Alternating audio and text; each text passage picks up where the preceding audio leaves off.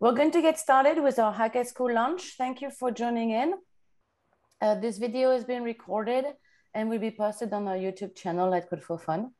Um, so uh, my name is Servane Demol, and I'm very glad to uh, be launching the second semester of High School uh, with a, a tons of projects that the students have been working on, and they'll be presenting very soon.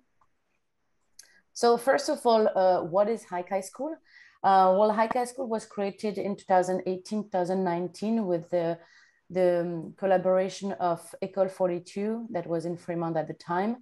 And it was really aiming to, get, to give more opportunities for high school students to be able to learn a little bit of coding and discover what it was. And then uh, we didn't want to replicate the high school experience. So we wanted to bring in mentors who were in the industry and really make sure that the students learn from each other, which is kind of the tactic in Ecole 42 and uh, their philosophy. And so we launched this um, at that time. And then after COVID, we switched to online.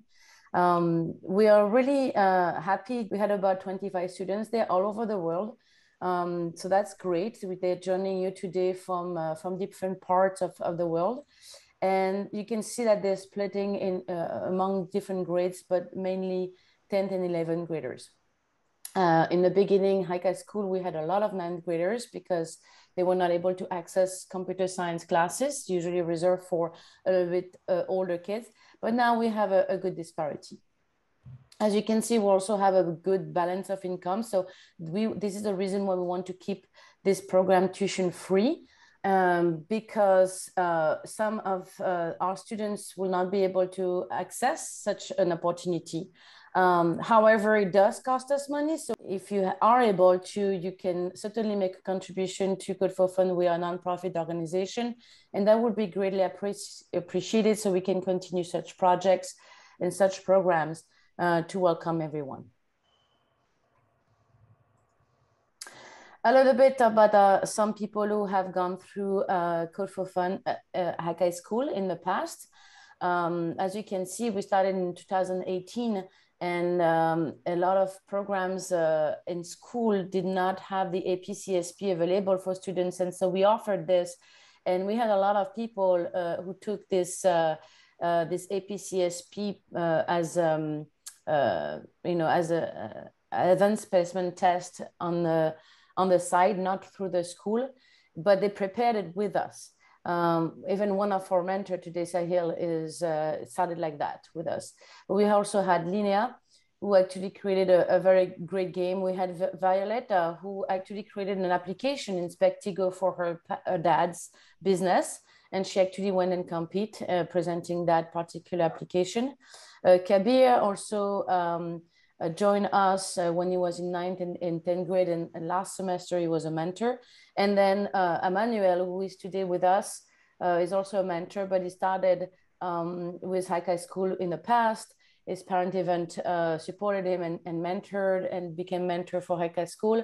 And Emmanuel also spoke at, uh, at one of our events and it, it was really great. So thank you, Emmanuel, for all your, all your work with us. Um, as you can see, we have had 500 students going through High School until today. So we're really proud of us and this will never be possible without the help of the mentor. Uh, so um, I want to thank you from the bottom of my heart, all the mentors who have been able to help us through this journey and especially the mentors who are sitting here today. You're going to hear a little bit more about them when the uh, students are presenting the project. Um, so again, you know, we are, we would like to continue this project and, uh, you know, it goes by semesters. So if you know about, uh, if anybody you know in your entourage is able to help us in any way, uh, it doesn't have to be bunny, but it could also be um, becoming a mentor if you're in the industry or you're studying computer science and you're interested in helping a group of four or five students to learn something that you uh, that you do in your work offline uh, in your line of work then you know please let us know and uh, contact us all right so we're going to get into um, the presentation we'll go to uh, build your pc and then we'll come back to python game design afterwards uh, who would like to start? Sahil, do you have an order for your students? Uh, yes, uh, we're, we're doing Calvin first and then. Okay. Yeah. Okay, can you see my screen? Yes. Okay. Hi, I'm Calvin Chu, and I was part of the Build a PC division. So the team was uh, my mentor, Sahil, who has been a mentor at Hack High School for I think three years. And he taught APCSP and PC building. And then it's me, uh, Calvin Chu.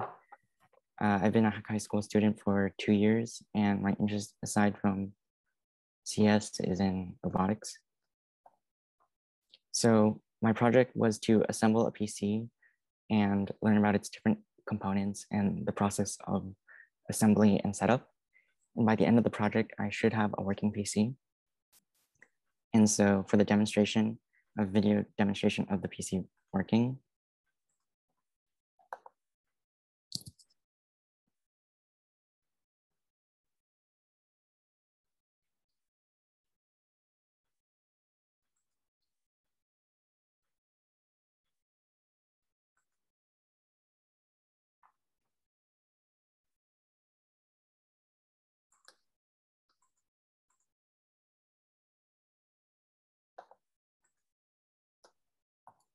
Okay, and some technical aspects of this project was uh, mainly separated into three parts. It was the planning, the assembly, and then the Windows installation and driver setup. And for resources we used for the planning, it was the PC part picker tool. And then for the assembly in Windows installation and drivers, uh, it was mainly under the guidance of our mentor, uh, Sahil. So thank you for helping me with that. Uh, some technical challenges I faced uh, mostly was one recurring issue was that the case was too small. Uh, first, it was the power supply, which the dimensions did fit in the slot. However, it made it almost impossible to wire it correctly because the hard drive cage was in the way. And so the solution for that was just removing the hard drive cage entirely because I opted to use an SSD instead of a hard drive and then the fan controller, which uh, Sahil initially instructed me to attach into the back, did not fit there. And so I had to move it inside, which made the wiring like a lot messier. Uh, one of the key features of this project was the budget uh, or budget management. Since this was my first experience with personal computers, I decided on a lower end budget of around $1,200. And uh, the project overall ended up being a bit more expensive as there are additional tools needed for the assembly. Managing this budget uh, involved determining uh, which parts uh, were more cost efficient since, uh, sorry, uh, which parts were more cost efficient, obviously since I'm using a lower budget. And I also had to balance that with personal choice in which parts I wanted to invest more in. And this brings us to my the next key feature of the project, which was optimization. Since knowing how I'm going to use the computer is important for effective budget management. Uh, since I'm interested in robotics, I wanted to be able to run CAD software on this PC since my current laptop struggles with that. And so I did research on the hardware specifications for running uh, CAD software, as well as which components I should invest more in. And I found that uh, investing more in the CPU and processing speed was important since CAD software requires doing lots of uh, computations in order to make the models mathematically accurate. And so during this research, I also learned about overclocking, uh, which would allow me to increase the processing speed uh, in exchange for additional heat. So for this project, the final product was the PC itself. And other results were that I learned the skills necessary to assemble one in the future and upgrade it. Uh, in this project, I learned a lot about the different components of a PC and the process of building it, not only the assembly, but also the research that goes into picking out the correct parts and also how to manage it like overclocking. I also learned lessons in communication and time management as it was uh, required to coordinate in-person meetings to build the PC. Additionally, later in the semester, it became difficult to attend the usual Saturday meetings. And so I had to schedule additional time to work on the PC. So thank you for, uh, thank you to Sahil for meeting me during the week uh, when I needed to work on it additionally. And I think, uh, thank you for listening. Thank you, Calvin. Do you have any question for Calvin? Okay, we will go to Tia now. So I also was in PC building with Calvin, and so I'm going to be talking about my PC building experience. Hi, my name is Tia Nair. So in my team, there was, of course, Sahil, my mentor, who was originally part of um, Code for Fun's Hack High School in the APCSP program. And then he did three years of mentoring. He was first in the APCSP as a mentor. He was also the Discord manager for high, Hack High School. And then finally, he's also in the PC, he's also a PC building mentor. And then the other person in the team was me. I'm a sophomore, sophomore at uh, MVHS, and uh, this is my first semester at Hack High School. So the goals of the project. Um, obviously, I wanted to build a, P- a gaming PC. Um, Cal, so there was like two different PCs you could build, like a programming PC, um, that's more catered toward rendering and like 3D modeling. Um, and so that was what Calvin did, but I wanted to get a PC for gaming. Um, so I wanted to learn what components I needed and um, uh, I learned a lot about the different gaming parts and brands. Uh, the second goal was to understand the specifications of the PC parts. Um, so how to read um, and how to compare and find which one's better um, when comparing the two parts. And then there was also uh, building the PC. Uh, this was more of a long-term goal, which started um, I started the goal, the sorry, the um, the plan a year ago. I was able to get a job last year, so I balanced my own budget. And it was only in September um, that I joined Hack High School, um, thankfully, because I had absolutely no idea what I was doing. And uh, Sahil helped me with my PC building experience. So the steps of the project were I joined Hack High School, and so we drafted our parts list on Part Picker. Uh, we then ordered the parts from home, um, and once everything had arrived, we met at the Code for Fun headquarters where we built together. Um, installed everything apart from the BIOS and the operating system, and then we brought the PCs back home, and then we um, and then we installed the BIOS and the operating system. Uh, this is a picture of the finished product without the case's front. Um, so those are just all my parts and all the wiring was yet to be done because it's very messy. So this is a demonstration of the end product. So this is uh, this is at home. It's underneath my desk right now. Um, so yeah, this is my PC, and I'm just turning it on right here. Um, so everything's running. And now I'm going to show the monitors. There we go. Uh, some of the main components. So we have my CPU, which is, I got an AMD Ryzen 7 59000, um, which is this right here. Um, my Asus ROG B uh, 450F Gaming 2, which is my motherboard. This is um, this right here. I also I haven't I don't have a picture of this uh, of my storage, but I also got a two terabyte um, Sabrent Rocket, which is my SSD, and then I also got a hard drive, which is also two terabytes, uh, the Seagate Seagate Barracuda Compute, and then finally um, the pièce de résistance is my graphics card, uh, the NVIDIA uh, 3070, which is this right here. Uh, I actually only learned this afterwards, but I didn't get Wi-Fi. Um, I didn't get Wi-Fi or Bluetooth was added into my motherboard, so I'm still I'm getting a separate uh, Bluetooth and Wi-Fi adapter to help with that. Um, if there's one thing that I could redo um, or that I would change is that I would not get this motherboard. Um, but you know, it, it was um, it was just um, a mistake I made on my first PC building, um, my first build. Um, and then finally, there was the the chassis fans, which were originally supposed to be um, RGB, but um, I realized only later that I was supposed to get a fan controller and everything, so I opted to not uh, input the RGB um, on my on my fans. Um, if I were to do it again, I would probably get um, the Corsair uh, fan kit, where you can actually install an app on your computer and then control it from there rather than needing a remote controller.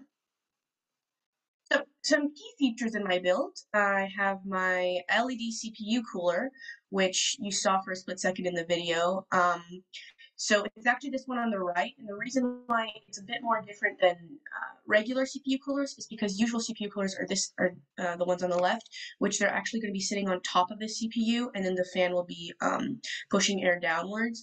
Um, this this fan cooler actually inputs takes air uh, from the sides and then inputs it downwards.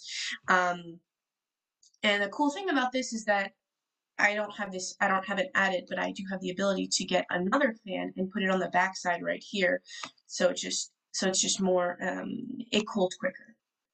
And it's also LED. Um, another key feature that I have is my storage. So um, in gaming computers, people love to have storage. Um, it's always something that people want more of. So I actually have four terabytes of storage, which is a lot. And I'm really happy about that. I have two on my SSD and two on my hard drive. All right, so in my final product, um, so before I had a laptop, um, which I only got 60 FPS on, um, and which basically motivated me even more to get a gaming PC because now I get like uh, 500 frames per second. That's what FPS is. Um, and it's really, really fun for um, frames per second demanding games like first person shooters and uh, things like that some takeaways that I got from uh, this uh, experience was I learned how to balance a budget. Uh, it was a very new experience for me, um, and but I'm really happy I did it.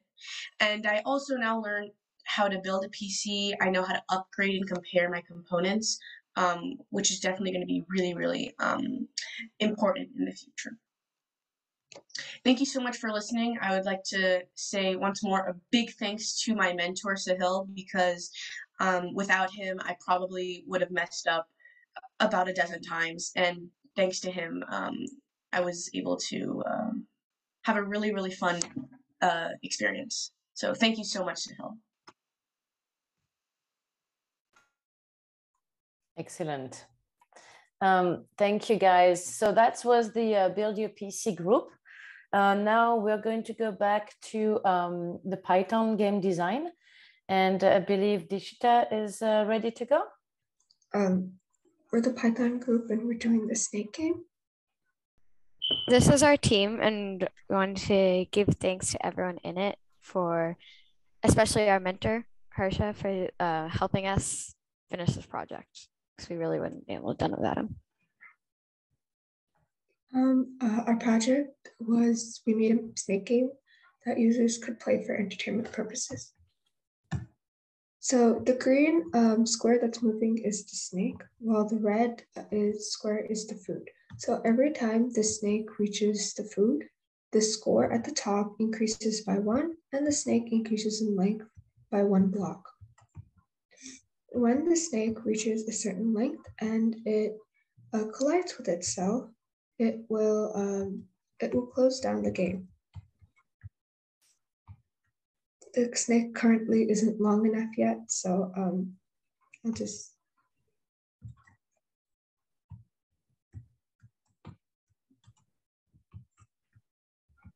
yeah. So the snake would uh, then um, sorry the game would shut down basically just like how the google game would work. Um, another component of this thing is if the snake goes out of bounds from the screen here it will also close down the game Um, okay, so we we each different did different parts of it. So I created the snake uh, made it move, um, had the snake and the food spawn in random positions, and created the score count. And then we both did final cleanup. Uh, so I created the food and I defined boundaries for the snake. I also made sure that the snake could increase in length when it eats food. And once that's done, the food would respawn. And I also did the final cleanup.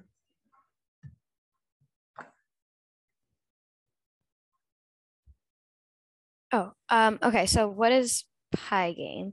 Pygame is a Python-based library which is filled with different modules that can be used for developing 2D video games and other multimedia programs. So one of our challenges was that the snake wasn't eating um, the food properly and the size wouldn't increase uh, correctly because the snake was a circle it would work more as like a balloon expanding rather than how we kind of wanted it to work. So our solution was that we added a range on the food and it changed the snake and we changed it the snake into a rectangle.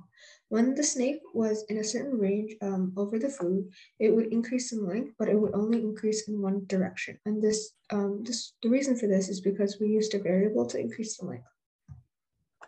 Uh, the second challenge was that the snake wasn't increasing in the length properly. It was only um, going in one direction. So it moved more like a block than how we actually wanted it to move.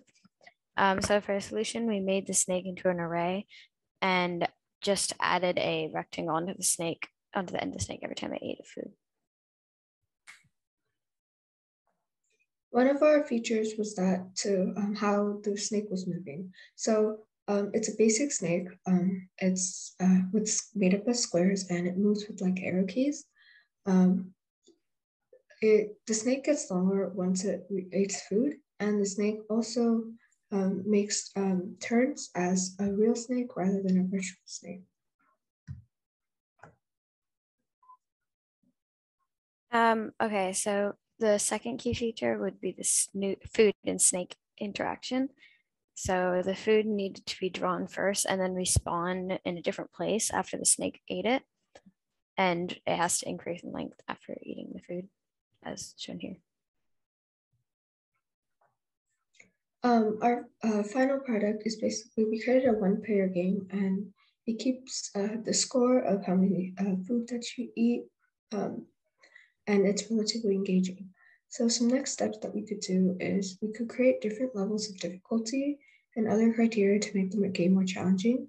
We could create a website that will provide entertainment to a wider community of people we could have a scoreboard so uh, other players can compete with each other, and we could do more comprehensive testing, which is basically unit testing. Um, so takeaways and learning, we both learned how to use like visual code, uh, improved Python skills, and learned the Pygame library and learned how to use GitHub. Uh, so visual code was like new to both of us. So we had to learn how to set it up, navigate it. Um, Pygame uh, both of us also hadn't used Pygame before, so we had to download it and we learned a few basic commands. GitHub, uh, we had to learn how to collaborate with other people using GitHub, and we learned basic commands like pull, push, and commit. Thank you for listening.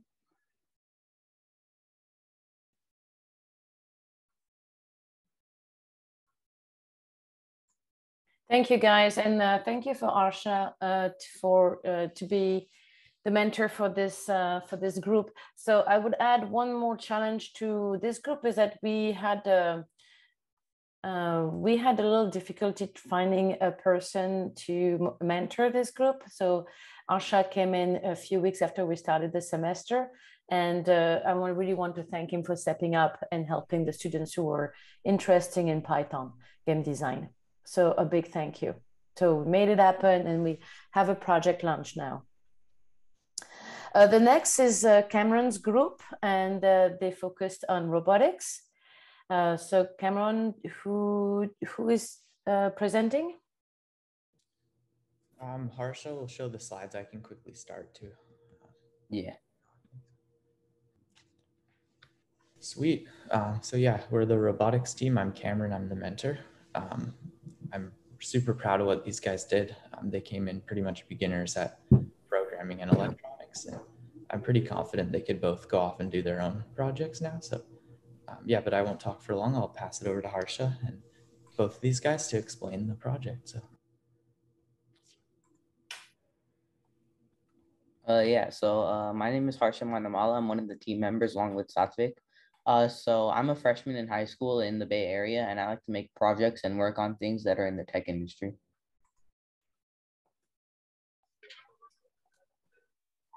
Good morning, everyone present in the meeting. I am Satvik Roshan, the team member in robotics. I've worked with Harsha and Cameron to make our robot. I'm a junior student who is interested in programming and building projects. Uh, so this is our pitch for the robot. So when we were designing the robot, we had a few constraints that we wanted. So the first thing that we wanted to build was an easy to build, affordable remote exploring bot. However, there were a few problems. We wanted to be cheap, so less than $70 USD, so that everyone could build it. We also wanted commonly used parts that, that would be easy to get and easy to use. We wanted to be easy to build so that you could learn with it and not much ex prior experience was needed. We also wanted to use any smartphone, Android or iOS, to control it over the internet to make sure we knew which direction it would go. We also wanted to allow more students to learn about robotics, and we wanted to be an interesting and useful DIY project. So here you can look at a robot, which is made by using basic parts such as a battery pack. We have used four DC motors uh, to control our wheels. We have a motor controller to change the direction. And we do have a servo arm to grab things for us. And this robot is controlled by ESP32 microcontroller, which has a camera, so we can stream video from it.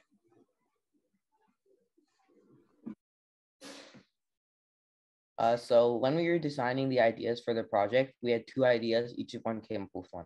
My idea was a trash bot, which would use a motor controller, microcontroller, and any chassis that we could find on the internet. We would decide to build it, and then we would use a soft, we code the software. So for the gripper, the microcontroller, and the camera technology. So like Satvik said, we could stream it over Wi-Fi.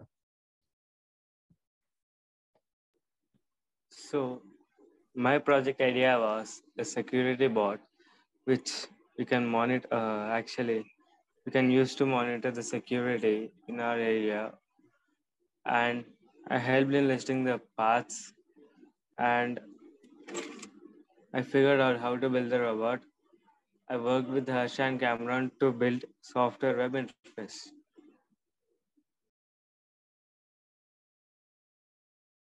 So this is more of the technical side of things for hardware, we decided to go with an ESP32CAM microcontroller.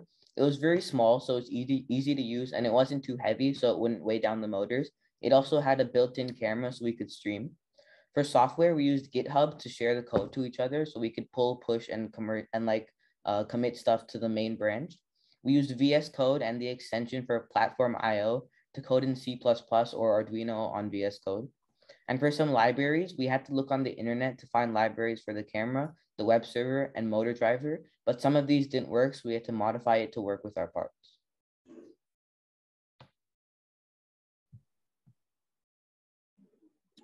So here, this picture describes the circuit diagram of our robot. This shows how we connected the components together. Battery pack is connected to the motor driver and motor driver is connected to the motors. Servo grabs the things and everything is controlled by ESP32 CAM. So when we were making this, we faced a few technical challenges. Some of these were the programming, the motor driver, the web server, servo gripper, and power supply. For the programmer, our board was very small, so we had to get an, external programmer to plug it into our PCs to be able to code. The wiring was very easy to mix up, and we faced a lot of wiring issues. For the motor driver, it was designed to work with an Arduino Uno, which is a much bigger, beefier microcontroller. We had to manually wire and write our library to be able to use it to control the motors. For the web server, we had a few issues connecting to Wi-Fi where the ESP would suddenly shut down and not be able to connect. We also had a few issues finding the IP address as the code for it was sometimes not working, as well as I had an issue where my firewall would block connection so I was not able to upload through Wi-Fi. For the servo gripper, we actually ran out of pins on the ESP32 cam because it's such a small board, so we were unable to code it and use it.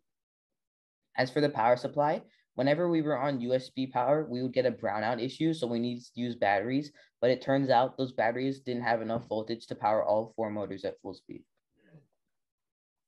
And so uh, this is just a quick video of the bot. So here I have my postman, which is basically, it's how I send codes uh, wirelessly to the bot. So whenever I send a command on postman, the bot will respond to it.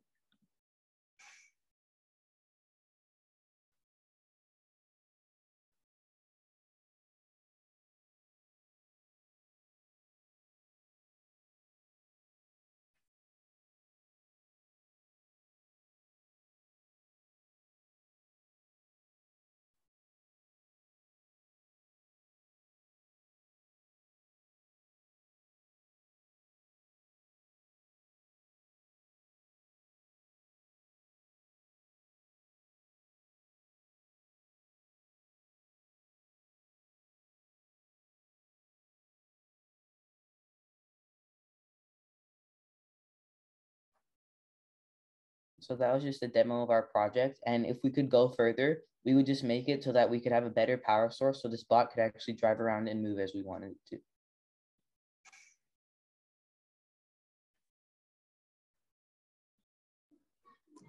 And we have the following learnings from this project we have made. We have learned that debugging and problem solving, we know uh, we had gained a little bit knowledge of code libraries we had learned how to design electronic modules circuits from Cameron. And we have a very easy module ESP32 CAM was uh, a good module, but it was very difficult to pro for programming because it does not have a programming mode coming with it. And I finally want to thank my mentor for having his time for us and help helped us to do this wonderful project. Yeah, thanks, Cameron. Uh, we didn't know a lot when we came into this, but you helped us a lot, and then we made this together. So, thank you. Also, uh, thank you for listening. That concludes our presentation. Are there any questions? Thank you, everyone, for having us. Yep. Please, you may ask any questions if you have. Thank you. Uh, so this is a, a, good demonstration of how things can be made possible when we are uh, working on two different continents, but with Discord and uh, a mentor who has dedicated all of his Saturdays to work with those two students. Um, it's kind of nice to see two bots being built at a very different part of the of the planet, but they are uh, collaborating onto the same project. So uh, good job, guys. Um, the next and final group is the artificial intelligence uh, group, uh, who was mentored by Emmanuel. This is the AI 2022 presentation group. Um, this is their presentation on the electrocardiogram prediction uh, sequence. And they will be, be presenting this for you guys today. Uh, hello, my name is Emmanuel. Uh, I was the mentor for this group. I'm currently a senior in high school uh, in Milpitas, and it's been an absolute joy working with these these four students uh, over the past few months. And my name is Nia. I am a junior in high school. I'm in Irvington High School, and yeah, it was amazing working with everyone on this project as well. Hello, and my name is Jeffrey Wu, and I am from Mission San Jose High School, and I am a junior. Hi, I'm Darcy, and I'm a senior from American High School. Hi, I'm Patrick, and I'm from high school in Bratislava, Europe, and I'm in 11th grade.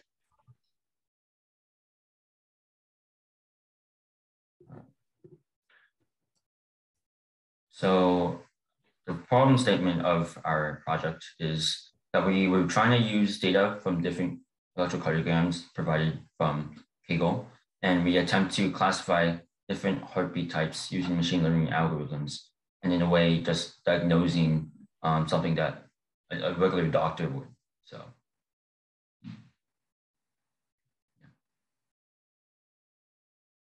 Data is one of the most important components of any AI program, and we collect data through a process called sampling, Um, so we essentially gather data from a part of the population.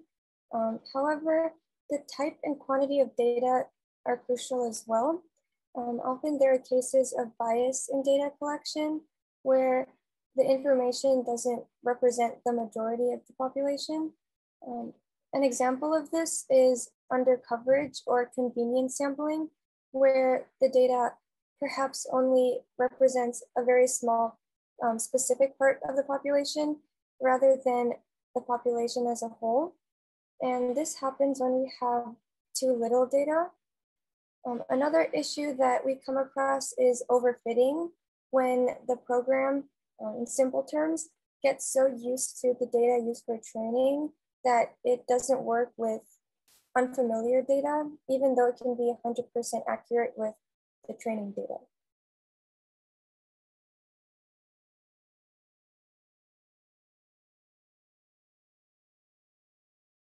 So how do we avoid bias? So starting with minimizing under coverage, it's as simple as using random samples. So every member of the population has a chance of being selected and therefore represented. Um, as for minimizing potential for overfitting, there are a couple ways to achieve this. First is cross-validation, where you use uh, different portions of the data to test and train the model. And this ensures that all the data isn't used entirely for training, which can cause the program to fail when it encounters new data.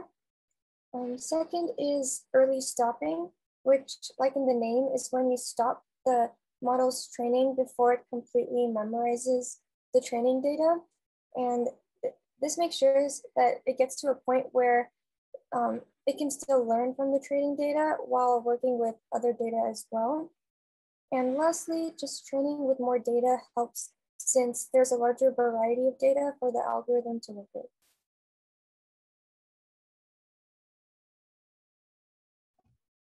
So we coded up uh, algorithm in Python and we use data from MIT arrhythmia dataset and PTB diagnostic ECG dataset. And we used various libraries in Python, like sklearn or scikit-learn, which is which we used for mm, classifying our model and scoring scoring it. We also use Keras, which is built on TensorFlow, which is AI and machine learning library developed by Google. We use pandas for reading dataset from CSV files and NumPy for doing array operation on our data. And finally, we used Matplotlib for visualization of data.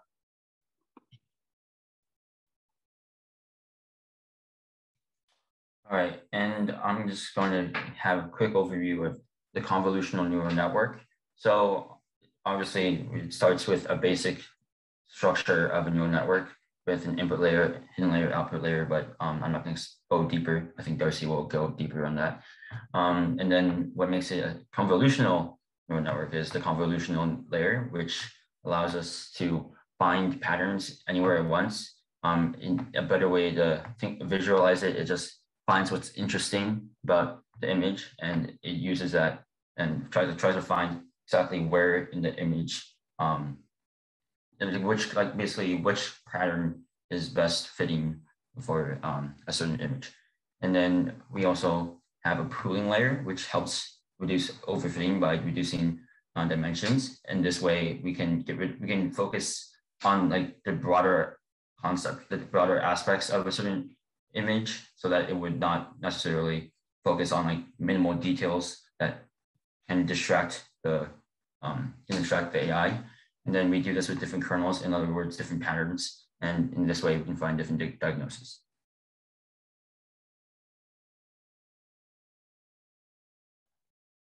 So how convolutional layer works? So it works by passing filter over the image or data that we have. And that creates another image, which contains, which is calculated by multiplicative sum of all values that filter pass, passed by. And after that, on this new array or new image, we did max pooling. So for each four pixels, and we we get max. Oh, I'm sorry. So how convolutional layer works? So it works by passing filter over the image and doing multiplicative sum. So uh, multiplying each pixel of image in that space three times three by pixel of by pixel in filter and creating new image containing containing data after that which is represented by sum of numbers by multiplication. So then after that, we pull, we did pooling on this layer. So we took biggest number from each four points, as you can see in left image. And this reduces um, spatial complexity of our image, but it keeps positional arrangement of features, which is important. And last thing in one layer is normalization or batch normalization, which works by mm, which works on each batch. So each, but which works on 32 samples in training process, and it converts them from random distribution to normal distribution. So the model can learn more quickly and also it would have better results. Next, I will be um, briefly explaining forward propagation. Um, uh, forward propagation is uh, one of the processes used to um, pro process data. And so, and forward propagation uh, moves data in only one direction. And this is very specific, um, which is different than backwards propagation. And it basically moves sequentially through the input layer to the hidden layer and then to the output layer. It is the calculation of store uh, and storage of intermediate variables for a neural network. And we will explain a bit more about the hidden layers next. The hidden layer is a layer between the input and the output layers. Um, it consists of two functions, the pre-activation function and the activation function. So first, the pre-activation function calculates the weighted sum of inputs from the previous layer. And the activation function uses the weighted sum um, to decide whether the artificial neuron or node should be activated for the next layer. Um, this makes the network nonlinear and learn as the computation progresses. And the default activation function and the one that we used is called ReLU, which stands for rectified linear activation unit.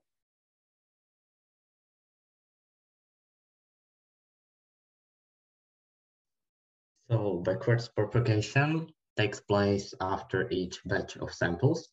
So after 32 data samples, and it works by finding which parameters had negative effects on our results.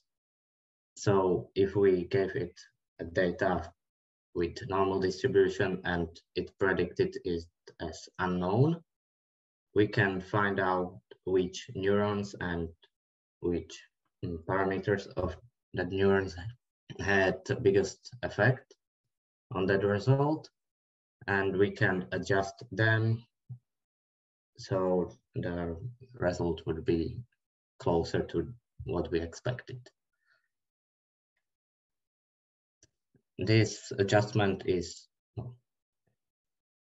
this adjustment isn't big because that could ruin other results. It's only small push cl closer to the optimal optimal settings. And basically this is where the algorithm learns.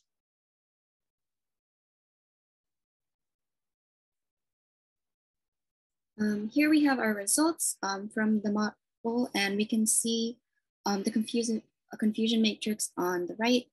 And we can also see how, um, I guess the biggest uh, mistake that came up with our model is that it sometimes confuses the supraventricular ectopic beat with a normal um, beat. But overall, our the program was pretty accurate. All right, and now onto the ethics of AI and specifically this project. So we want to, as we said before, we want to always try to have the best data sets. However, there's still going to be uh, bias in data sets no matter how we, no matter how we edit it and try to make it like we try to normalize it and we try to you know balance it out. There's always going to be some things left out. So um, like if, for instance, if there is a system with only white males as data, then it'd be terrible for black males um, for predicting data for the black males and vice versa. It's, um, you know, obviously we're going, we would have to make sure, like, like triple check to make sure that everyone is represented and not simply a certain um, group, a certain majority. And another portion of the ethics of this project is whether we can rely on a computer for diagnosis that can be life and death situations. So, I, I mean, that's obviously like, maybe exaggerating, but still, um, it's still uh, you know, you don't want to be scared thinking that you might have a certain condition when you really don't, right? Um, so it really raises the question, um, how accurate does AI need to be for real world application as, you know, we don't want false positives and true negatives popping up, um, which, you know, could definitely like make, make the use of this AI obsolete. So kind of to summarize, our project was um, to categorize different heartbeats using uh, machine learning. And uh, this, and while uh, we did do our program, there were also many other things that we did learn through this process, including sampling bias, neural networks, as well as the ethics of machine learning.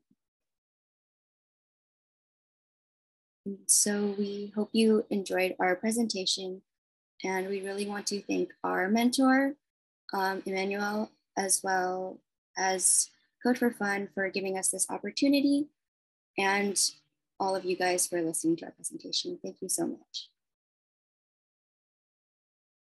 Very well done, guys. This is uh, another example of how we can assemble people on an international, international level um, to make a project come, uh, come true. So thank you very much, uh, Emmanuel, for leading this group of students.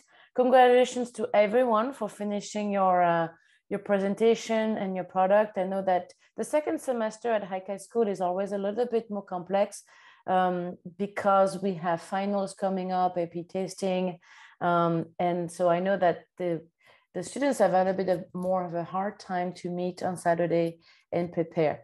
Uh, but they did it, so congratulations. And I want to, uh, uh, again, a special thanks to all of our volunteers. So not only the mentor, but we also have people who help uh, run the program um, on the Saturday just to make sure that everybody is meeting.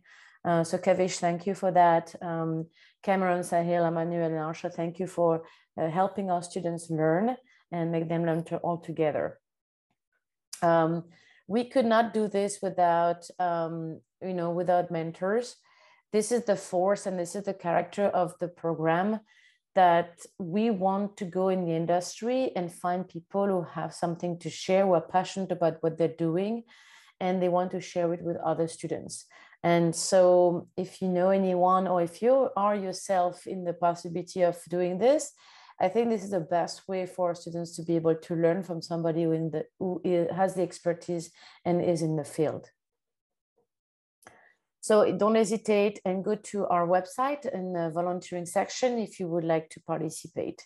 Um, we love to have alumni of high school come back. So if you're um, a senior and you're going to university next year and you continue learning and you think that you know you want to give back to Code for Fun for all of you've done during high school, we will be very glad to have you because you know the system, you know how this works, and you can help a few students doing the same thing as you, what you did. Um, please, uh, we would like to thank all the people who have donated this year uh, in order to support this program. Um, there are some, even though the Build Your PC group did go ahead and buy their own parts, uh, we did help the robotics group to get their, their own uh, equipment, uh, which was kind of tricky because we are very used to Amazon over here in this country, but in India it's a little different.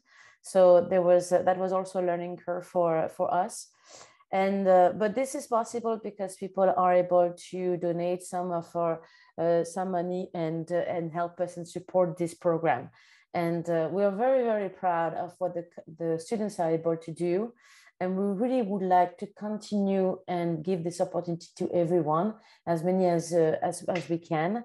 And so um, don't hesitate to support us if you can. Uh, a past event, and I'm going to paste this uh, this YouTube um, link into uh, into the chat. But uh, last year, last semester, we also had uh, Richard Born after the end of our High School he had a, a very nice lecture that was done for high school students. And uh, we recorded this lecture and uh, it's in AI. He's a professor um, at uh, uh, of neuro, neurobiology at Harvard. And uh, it was very nice. So I'm, I'm giving it to you guys so that you can go ahead and, and watch it on our YouTube channel. Um, again, this is some of the ways that we are able to help students to enrich and discover different topics. And um, I'm, I'm going to send uh, Professor Born our, the, this presentation because I think it'll be very, very interesting with what the AI group has done. So that's pretty much it. Thank you for attending today. Thank you all the students for your hard work and for the and the mentors. Um, and thank you for all of our supporters to make this, uh, uh, who have helped us make this program possible. And after a nice summer, and it is graduation time. So this is also graduation time for High School. So we hope that you have a safe and uh, very good summer. And we'll see you, some of you in September. Thank you.